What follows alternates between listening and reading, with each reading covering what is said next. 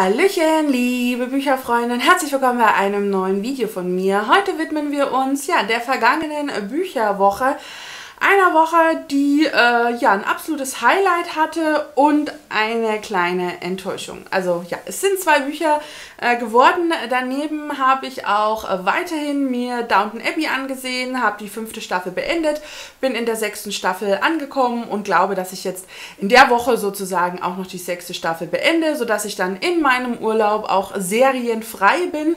Außer ich suche mir irgendwas, aber eigentlich habe ich nicht vor, in den, im Urlaub irgendwie Serie zu schauen. Zudem heute sind wir in Münster. Also wenn ihr die Bücherwoche seht, äh, bin ich in Münster unterwegs und vielleicht habt ihr ja noch Lust, spontan um 11 Uhr dazuzukommen. Wir treffen uns an diesem Vorplatz am Bahnhof, am Hauptbahnhof und wer Lust hat, um 11 Uhr ist da Treffpunkt. Vielleicht seht ihr das ja noch äh, früh genug. Ich freue mich sehr auf Münster, ich freue mich sehr auf die Reise, ich freue mich äh, ja tatsächlich aufs Autofahren, aufs Ankommen, auf Thorsten, auf die Menschen, auf Münster, auf das Booktuber-Treffen, wo viele kommen, die ich zum ersten Mal äh, kennenlerne und auch viele, die ich eben schon kenne, freue ich mich wirklich sehr und auf die Tage auch einfach in Münster, weil mir das letztes Jahr super gut äh, gefallen hat und dann ist ja im Grunde auch schon Urlaub. Ne? Also August ist jetzt nah und äh, somit dann natürlich auch der Urlaub und darauf freue ich mich sehr. Ich war auch im Kino, ich habe mir Yesterday angesehen, dazu möchte ich dann später auch noch ein bisschen was erzählen. Aber wir fangen chronologisch wie immer mit den Büchern an. Ich äh, begann die Woche mit dem Hörbuch Der Elefantenflüsterer von La Lawrence Anthony. Ein Hörbuch, über das ich irgendwann irgendwie mal gestolpert bin. Ähm, ja, und das habe ich diese Woche gehört, weil mir tatsächlich einfach nach so einem ähm, echten Buch war, nach einer echten Geschichte war und ähm, ja, ich halt Elefanten sowieso sehr, sehr mag und immer wieder gerne darüber lese. Und dann habe ich ja Aragon beendet. Äh, das Erbe der Macht von Christopher Paolini ist äh, der letzte Teil der Reihe und das ist tatsächlich auch so ein bisschen eine Enttäuschung und warum ähm, ja, das natürlich dann auf jeden Fall später. Ja, wir starten mit Der Elefantenflüsterer von Lawrence Anthony. Ich hatte ja vor Jahren Frühstück mit Elefanten von Gesa Neitzel äh, gelesen, fand ich wirklich großartig und bin seitdem immer mal wieder hängen geblieben bei Tiergeschichten, bei Menschen, denen etwas Besonderes auch mit Tieren passiert ist oder die sich mit Tieren irgendwie verbunden haben. Und so bin ich dann irgendwann auch auf Lawrence Anthony gestoßen, der ja leider nicht mehr unter uns ist. Der ist ja 2012 oder 2013 an einem Herzinfarkt äh, in Südafrika gestorben. Es gibt jetzt wohl auch ein Buch von seiner Frau, die wir in dieser Geschichte hier im Grunde auch schon kennenlernen. Und äh, ja, Lawrence Anthony ist wahrscheinlich so manchen ein Begriff, denn er hat äh, damals als ähm, 2002, als im Iran, Irak, äh, ja, der Krieg im Grunde ausgebrochen ist, war er für diese große Zoorettung in Bagdad verantwortlich und hat die Tiere aus ganz katastrophalen ähm, ja, Verhältnissen im Grunde rausgeholt, weil wenn natürlich Krieg ist, denkt keiner an Zootiere. Ich meine, manche lassen ja auch ihre Haustiere zurück und natürlich geht ein Mensch immer vor Tier. Das ja, äh, es ist wahrscheinlich jetzt die politisch korrekte Aussage.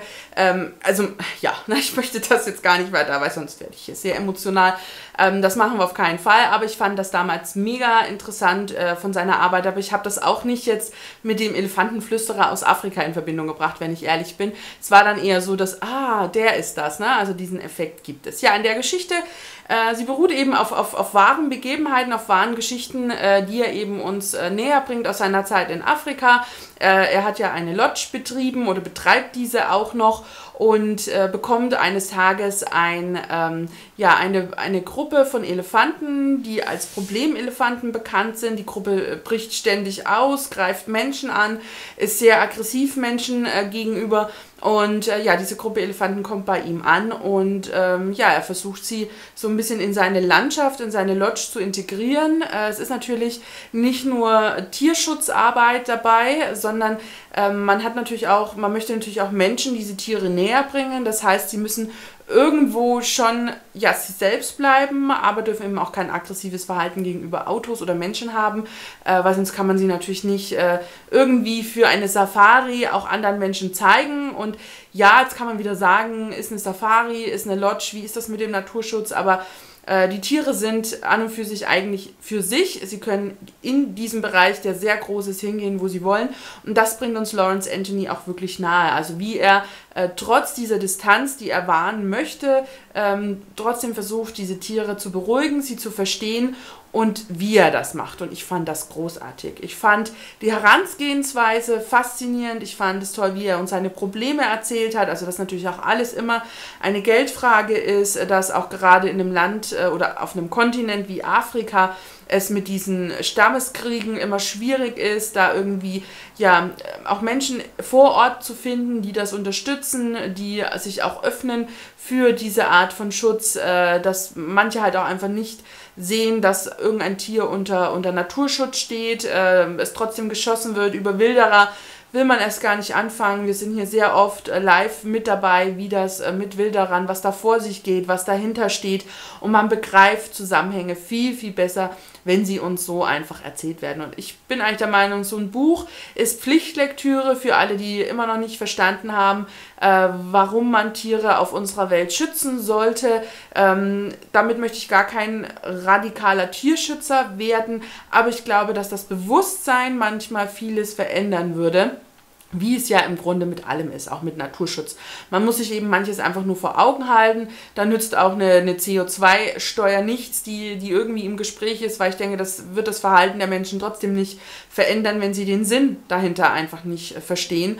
Also und auch nicht erzählt wird, was, also ja, ich werde jetzt so politisch und das will ich eigentlich gar nicht werden. Aber es ist ein Thema, was mich äh, sehr beschäftigt, sehr berührt und äh, gerade wenn es eben um so diese riesigen Tiere geht und äh, auch ich selbst war ja schon in Kenia in sehr jungen Jahren und da waren wir auch auf einer Safari. Leider keine Elefanten getroffen, aber wenn man da einfach Wildtiere sieht, äh, die man einfach schon aus einer Entfernung beobachtet, aber wo man einfach spürt, die sind frei. Und das hat mich als, als Kind, ja, mit 11, 12, äh, sehr beeindruckt. Also dieses, die machen einfach ihr Ding, stehen nicht einfach nur in einem Zoo herum und dabei ist ein Zoo vielleicht sogar noch besser als ein Zirkus.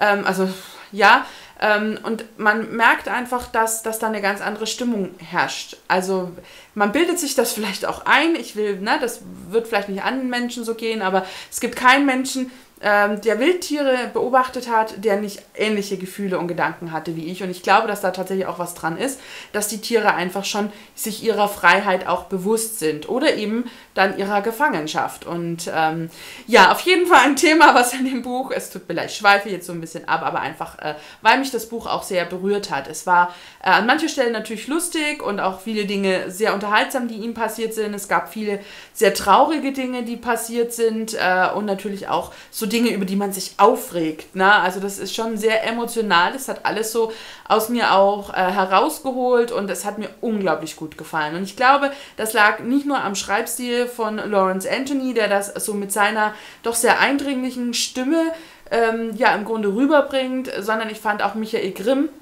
als Sprecher wirklich großartig. Der hat vieles atmosphärisch rübergebracht, was auch einfach perfekt gepasst hat zu dieser Geschichte. Äh, das Hörbuch waren knapp 14,5 Stunden und ich fand das wirklich toll. Es gibt noch ein Buch vom, vom Autor über Nashörner, das gibt es aber noch nicht im Deutschen. Und es gibt eben auch aktuell ein Buch von seiner Frau, äh, Françoise, die wir in der Geschichte natürlich schon kennen, weil die gibt es zur damaligen Zeit auch schon, die uns eben auch so ein bisschen was über die Trauer erzählt, die sie eben nach dem Tod ihres Mannes empfunden hat. Und äh, ja, wie es dann eigentlich so mit dem Lodge und so weitergeht. Also ich glaube auch ein Buch, was äh, demnächst bei mir einziehen wird, weil ich schon neugierig bin, wie geht das Leben weiter ohne diesen wirklich, ähm, ja, ohne diesen Flüsterer der Tiere.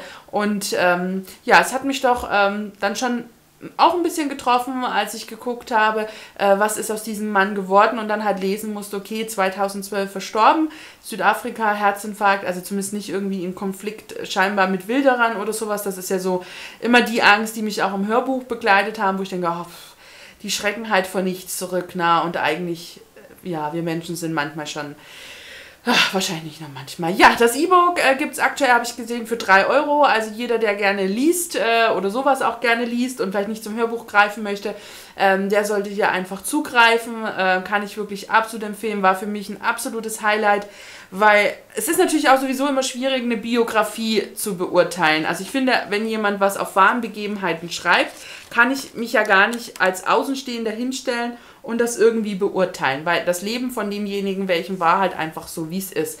Und äh, so ist es natürlich auch hier. Wir haben hier eine wahre Geschichte und ja, was, ne, was, was soll ich da, also was soll ich da kritisieren? Aber man kann natürlich schon beurteilen, wie eindringlich ist etwas geschrieben, wie realistisch kommt einem das vor, wie wird es erzählt, mit welcher Ernsthaftigkeit wird es erzählt und das hat für mich Lawrence Anthony wirklich großartig gemacht und auch einfach die Emotionen, die er in mir ausgelöst hat. Und dass man eigentlich bei einem Buch, was jetzt keinen klassischen Spannungsbogen hat, dass man trotzdem einfach dranbleiben wollte.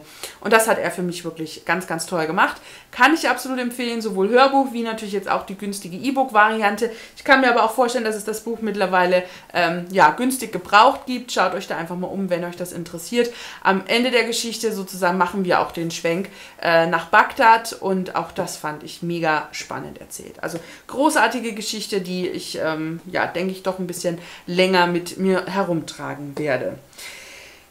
Ja, und jetzt tut es mir unglaublich leid, ähm, sagen zu müssen, dass so meine Enttäuschung der Woche der vierte Teil von Aragon, nein, Aragon, Aragon war. Da haben wir schon, ne? Das Erbe der Macht von Christopher Paolini. Die Reihe fing so grandios an und ich war selbst ganz verwundert, wie schnell ich jetzt eigentlich äh, ja schon am, am letzten Teil bin. Ich habe ja Teil 1 und 2 in einer Woche weggesuchtet, äh, habe dann direkt den dritten Teil gelesen und jetzt glaube ich zwei Wochen äh, andere Bücher gelesen, Rezensionsexemplare vorwiegend, um die einfach vor dem Urlaub äh, ja auch gelesen zu haben, damit sie auch rezensiert wurden und äh, wollte jetzt aber vor meinem Urlaub äh, doch noch die Reihe abschließen und ähm, ja, habe sie jetzt hier reingepackt. Zudem wollte ich auch auch, dass ihr einfach äh, den Abschluss habt, bevor dann in der nächsten Woche ja äh, das letzte Video vor der Sommerpause sozusagen kommt. Ja, wir, ja, ich, ich bin wirklich ein bisschen sprachlos über den, den vierten Teil, weil ich tatsächlich ganz schön enttäuscht bin. Äh, der Auftakt, die ersten beiden Teile waren grandios. Teil 3 hatte schon die ein oder andere Länge und äh, es geht in Teil 4 eben einfach nahtlos weiter mit Aragorn und Saphira und wir sind in Algaesias. Ich glaube, so spricht man es auch aus. Und ähm, ja, wir haben natürlich jetzt den letzten Teil. Dementsprechend sind alle Schachfiguren irgendwie bereit. Und äh, ja, ein Finale steht bevor.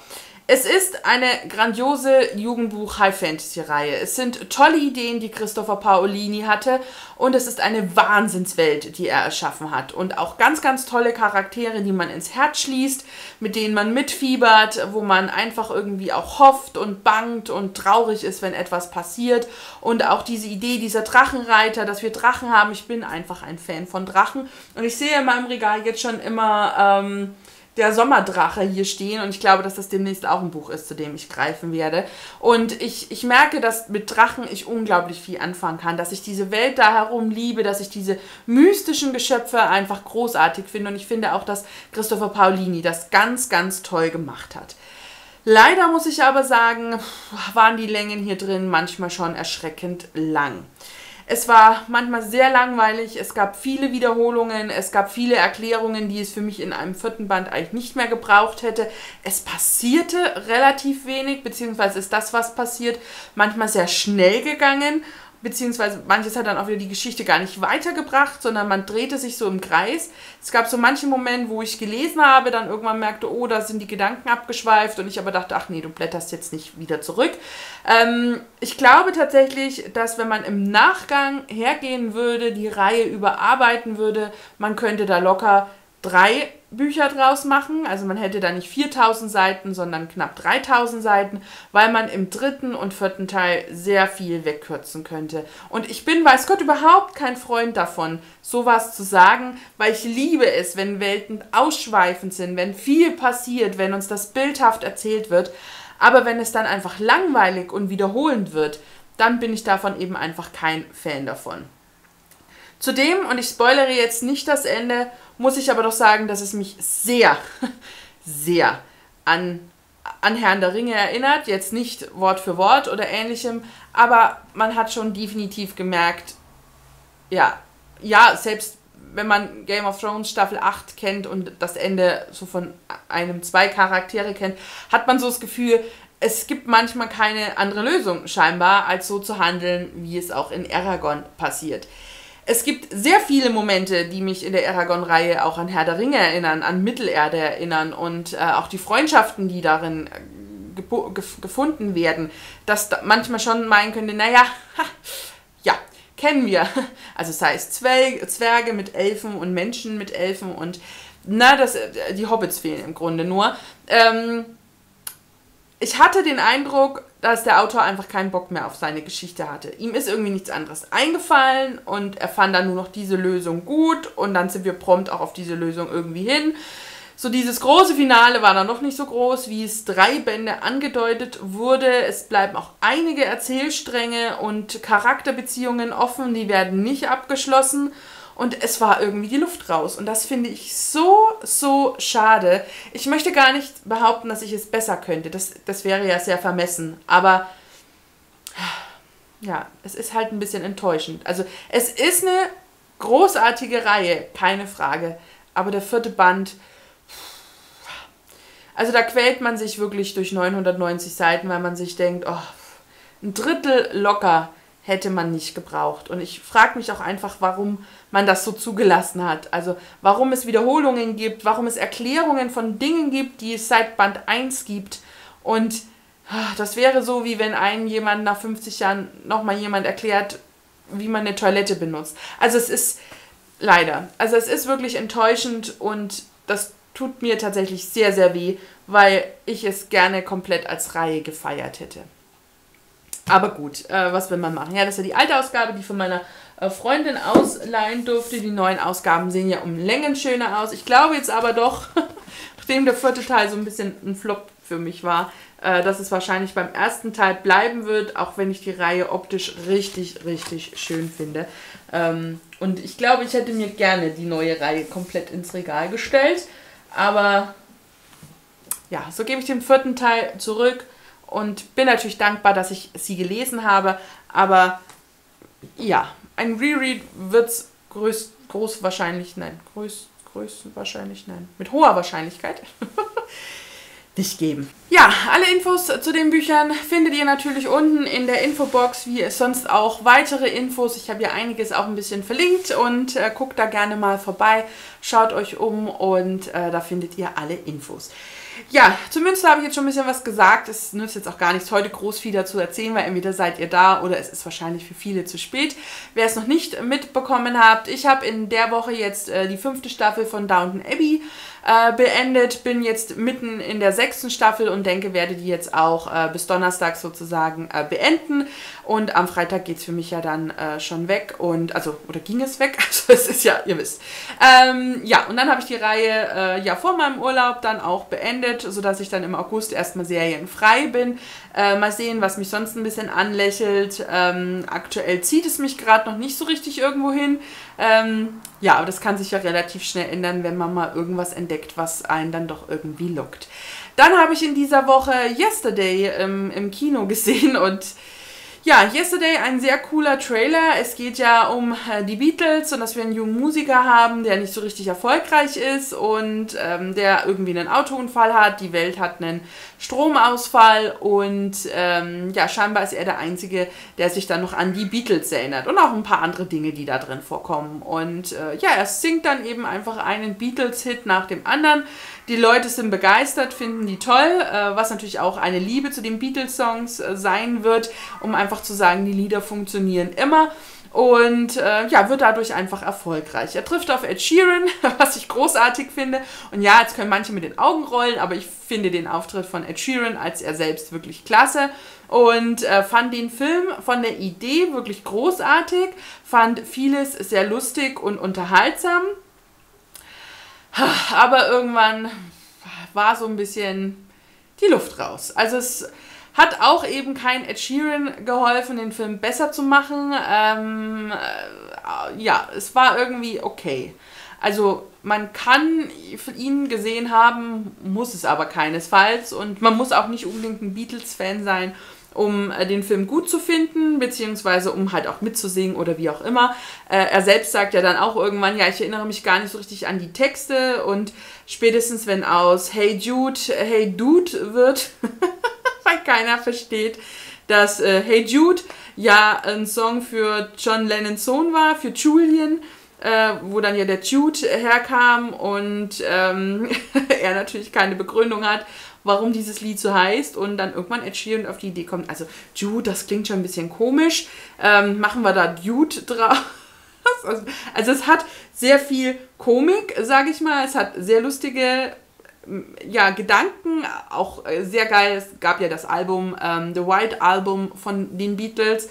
Und dass dann der, der Plattenboss da steht und sagt, ja, wir können hier doch kein Album das weiße Album nennen. Also wie denn das äh, bei den Menschen ankommt und wie rassistisch das ist. Und man sitzt so da und denkt sich, äh, ja, da haben sich vor 50 Jahren andere aber keinen Kopf gemacht. Vor allem hatte es ja gar nicht diese Bedeutung. Und also ich fand es großartig. Also es gab viele lustige Momente, die ich gefeiert habe. Alles in allem war die Story aber schon sehr langweilig, sehr lahm, sehr vorhersehbar und am Ende, ja, war ich auch nicht sehr glücklich darüber. Also auch das Ende konnte mich dann nicht mehr so richtig überzeugen.